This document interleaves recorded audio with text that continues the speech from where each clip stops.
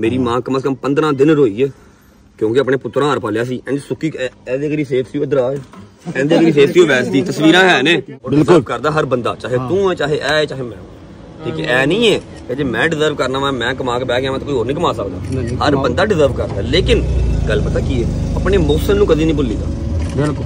ਜਿਹੜਾ ਤੁਹਾਡਾ ਮੋਹਸਿਨ ਹੈ ਨਾ ਉਹਨੂੰ ਨਹੀਂ ਭੁੱਲੀਦਾ। ਅਜ਼ੀਮ ਮਾਦੀ ਦੇ ਆਪਣੇ ਮੂੰਹ ਦੇ ਲਫ਼ਜ਼ ਨੇ ਕਿ ਸਾਰੇ ਡੋਗਰਾਂ ਚੋਂ ਡੋਗਰ ਮਾਨ ਡੋਗਰ ਕਰਾ ਕੋਈ ਨਹੀਂ ਹੈਗਾ। ਬਿਲਕੁਲ ਉਹਨੇ ਐਡਾ ਕਿ ਸੀ ਜਦੋਂ ਆਇਆ ਸੀ ਇਸ ਟਾਈਮ ਐਡਾ ਹੈ, ਮਾਸ਼ਾਅੱਲਾ। ਠੀਕ ਹੈ? ਖਾਨ ਪੀਨ ਰਿਹਾਇਸ਼ ਤਨਖਾਹ ਤੋਂ ਅਲ ਹਟ ਕੇ ਪਤਾ ਨਹੀਂ ਕਿੰਨੇ ਸ਼ਸ਼ਕੇ ਸਭ ਉਹਦੇ ਕੋਲ। ਹੁਣ ਮੈਨੂੰ ਡੋਗਰ ਪਿੱਟਦਾ ਰਿਹਾ ਹੈ ਕਿ ਯਾਰ ਤੂੰ ਨਾ ਇਹਨੂੰ ਵਲੌਗ 'ਚ ਲੈ। ਤੂੰ ਆਪਣਾ ਮੁੰਡਾ ਨਠਾਇਆ ਮੇਰਾ ਵੀ ਨਠਾ ਦੇਣਾ। ਮੈਂ ਕਿਹਾ ਨਹੀਂ ਯਾਰ ਇੰਜ ਨਹੀਂ ਹੁੰਦਾ। ਭਾਈ ਇੱਕ ਵਲੌਗ ਪਿਆ ਦਸਾਂ ਦਿਨਾਂ ਬਾਅਦ ਅਜ਼ੀਮਾ ਦੀ ਦਾ ਲਾਈਵ ਦਾ ਆਪਸ਼ਨ ਵੀ ਆ ਗਿਆ ਅਜ਼ੀਮਾ ਦੀ ਦਾ ਚੈਨਲ ਵੀ ਬਣ ਗਿਆ ਅਜ਼ੀਮਾ ਦੀ ਪ੍ਰੋਮੋਸ਼ਨ ਵੀ ਕਰ ਰਿਹਾ। ਗੇਮਿੰਗ ਗੂਮਿੰਗ ਐਪ ਦੀ ਪ੍ਰੋਮੋਸ਼ਨ ਨਹੀਂ ਨਹੀਂ ਕਾਤੋਂ ਮਾਰ ਵਾਲੀ ਗੱਲ ਨਹੀਂ ਹੈ ਕਰੇ। ਲੇਕਿਨ ਐਟ ਲੀਸਟ ਤੁਸੀਂ ਆਪਣਾ ਜਿਹੜਾ ਕੰਮ ਹੈ ਜਿਹਦੇ ਨਾਲ ਤੁਸੀਂ ਟੁਰੇ ਹੋ ਉਹਨੂੰ ਨਾ ਛੱਡੋ। ਉਹਨੂੰ ਉਦੋਂ ਛੱਡ ਦਿਓ ਜਦੋਂ ਤੁਹਾਨੂੰ ਪਤਾ ਹੋਵੇ ਕਿ ਮੇਰਾ ਨਿਜ਼ਾਮ ਬਹੁਤ ਵੱਡਾ ਹੋ ਗਿਆ। ਮੇਰੇ ਕੋਲ ਹੁਣ ਨਾ ਨੌਕਰੀ ਨਹੀਂ ਹੋ ਰਹੀ। ਇਹ ਨਹੀਂ ਕਿ ਹੁਣ ਤੇਰੀ ਜਿਨ੍ਹਾਂ ਤੈਨੂੰ ਚੁੱਕਿਆ ਤੂੰ ਉਹਨੂੰ ਕਹਾਂ ਚੱਲ ਵੀ ਤੂੰ ਕੌਣ ਹੁਣ ਮੈਂ ਤੁਹਾਨੂੰ ਗੱਲ ਦੱਸਣਾ ਵਾ।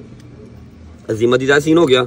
ਮਾਨ ਬੜਾ ਡਿਸਟਰਬ ਤੇ ਯਾਰ ਮੇਰੇ ਕੋ ਐਡਾ ਕਾਇਆ ਸੀ। ਤੇਰੇ ਇੱਕ ਵਲੌਗ ਨੇ ਮੇਰਾ ਮੁੰਡਾ ਨਿਠਾਤਾ ਤੇ ਮੈਨੂੰ ਬੜਾ ਪਿਆਰ ਸੀ ਉਹਨਾਂ ਛੋਟੇ ਭਰਾਵਾਂ ਇਹ ਬੱਚਿਆਂ ਦੀ ਗਲਤੀ ਨਹੀਂ ਹੁੰਦੀ। ਇਹਨਾਂ ਦੇ ਇਰਦ ਗਿਰਦ ਜਿਹੜੇ ਸੱਪ ਬੈਠੇ ਨੇ ਨਾ ਅਵੈਸ ਦੀ ਵੀ ਗਲਤੀ ਨਹੀਂ ਸੀ। ਚਲੋ ਖੁਦਾ ਦੀ ਕਸਮ, ਮੈਂ ਸਮਾਨ ਦੇ ਥੱਲੇ ਕਹਣਾ ਹੱਥ ਮੂੰਹ ਤੇ ਫੇਰ ਕਰਨਾ ਵਾ 500 ਬੱਚਾ ਆਇਆ।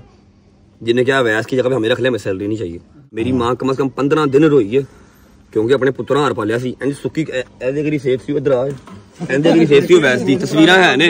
ਹੁਣ ਜਿਹੜਾ ਇਹ ਅਵੈਸ ਬਹਿ ਕੇ ਕਹਿੰਦਾ ਜੀ ਮੇਰੀ 17000 ਸੈਲਰੀ ਸੀ। ਹੂੰ ਹੂੰ। ਅਵੈਸ ਹੈ ਨਹੀਂ ਦੱਸਦਾ ਕਿ ਜੀ ਰੱਜੇ ਭਾਈ ਇੱਕ ਪਰਾਠਾ ਖਾਂਦਾ ਸੀ ਤੇ ਮੈਂ ਦੋ ਖਾਣਾ ਸਾਂ ਉਹ ਵੀ ਦੇਸੀ ਘਿਓ ਵਾਲੇ। ਮੇਰੀ ਮਾਂ ਬਿਠਾ ਕੇ ਖਵਾਉਂਦੀ ਸੀ ਕਿ ਨਾਲ ਬਹਿ ਰੋਟੀ ਖਾ। ਜੋ ਕੱਪੜੇ ਮੈਂ ਪਾਣਾ ਸਾਂ ਜਿਹੜਾ ਮਰਜ਼ੀ ਕੱਪੜਾ ਜਦੋਂ ਮਰਜ਼ੀ ਕੱਢ ਕੇ ਪਾ ਲੈਂਦਾ ਸੀ। ਮੇਰੇ ਕੋਲ ਰਹਿੰਦਾ ਸੀ ਮੇਰੇ ਕੋਲ। ਸੌਂਦਾ ਸੀ। ਇਹਦੀ ਮਾਂ ਦੀਆਂ ਦਵਾਈਆਂ ਮੈਂ ਦਿੰਦਾ ਸਾਂ। ਅਵੈਸ ਨੇ ਇਹ ਨਹੀਂ ਦੱਸਿਆ ਖੁਦਾ ਦੀ ਕਸਮ ਜੋ ਰਾਤੀ ਮੇਰਾ ਦਿਲ ਰੋਇਆ ਨਾ।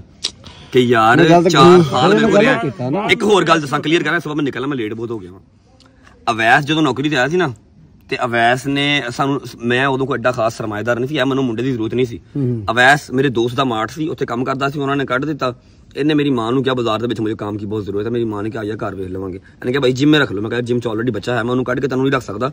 ਤੂੰ ਘਰ ਆਇਆ ਮਹੀਨੇ ਬਾਅਦ ਗਦਲ ਦੀ ਸ਼ਾਦੀ ਹੈ। ਮਹੀਨਾ ਕੁ ਤੂੰ ਮੇਰੇ ਘਰ ਰਹਿ ਤੈਨੂੰ ਮੈਂ ਦੇ ਦਿਆਂਗਾ ਸੈਲਰੀ ਕੋਈ ਗੱਲ ਨਹੀਂ। 12 13000 ਤੋਂ ਸਟਾਰਟ ਹੋਇਆ ਉਦੋਂ ਮੇਰੇ ਸੇ 12 13000 ਬੜਾ ਮੈਟਰ ਕਰਦਾ। ਸੀ ਸਹੀ ਹੈ। ਠੀਕ ਹੈ? ਜਦੋਂ ਛੱਡ ਕੇ ਗਿਆ ਉਦੋਂ 19 20000 ਸੈਲਰੀ ਸੀ ਇਹਦੀ। ਸਿੱਧੀ ਜਿਹੜੀ ਗੱਲ 20000 ਸੈਲਰੀ ਸੀ। ਉਸ ਤੋਂ ਇਲਾਵਾ 20 40000 ਰੁਪਏ ਮੈਨੂੰ ਉੱਤੋਂ ਪੈਂਦਾ ਸੀ ਭਾਈ ਖਾਂਦਾ ਪੀਂਦਾ ਕਿਸੇ ਚੀਜ਼ ਤੋਂ ਡੱਕਿਆ ਨਹੀਂ। ਬਣਾ ਮੈਂ। ਸੌਣਾ ਸਾਂ ਏਸੀ 'ਚ ਮੇਰੇ ਨਾਲ ਏਸੀ 'ਚ ਸੌਂਦਾ ਸੀ। ਐ ਨਹੀਂ ਕਿ ਕਿਚਨ 'ਚ ਜਾ ਕੇ ਸੌਂ। ਸਮਝ ਲੱਗੀ? ਤੇ ਕੱਲ ਅਗਲਾ ਬਹਿ ਕੇ ਵਲੌਗ 'ਚ ਕਹਿ ਰਿਹਾ ਕਿ ਜੀ ਮੇਰਾ ਗੁਜ਼ਾਰਾ ਨਹੀਂ ਸਾ ਹੁੰਦਾ। 17000 17000 ਸੈਲਰੀ ਸੀ। ਠੀਕ ਹੈ ਐ ਨਹੀਂ ਦੱਸਿਆ ਕਿ ਜੀ ਮੈਨੂੰ ਛੋਟੇ ਭਰਾਵਾਂ ਹਾਰ ਉੱਥੇ ਰੱਖਿਆ ਸੀ। ਬਿਲਕੁਲ। ਮੇਰੇ ਘਰ ਦੀਆਂ ਦਵਾਈਆਂ ਮਾਂ ਦੀਆਂ ਦਵਾਈਆਂ ਸਮ ਟਾਈਮਸ ਈਦ ਸ਼ਬਰਾਤ ਵੱਖਰੀ ਸਾਰਾ ਕੁਝ ਜਾਂਦਾ ਸੀ ਰੱਜ ਭਾਈ ਨੂੰ ਨਹੀਂ ਐ ਨਹੀਂ ਗੱਲ ਦੱਸਿਆ। ਤਾਂ ਉਹਦੀ ਸੋਚ ਫਿਰ ਗੱਲ। ਆਪਾਂ ਖੇਲ ਗਿਆ ਨਾ।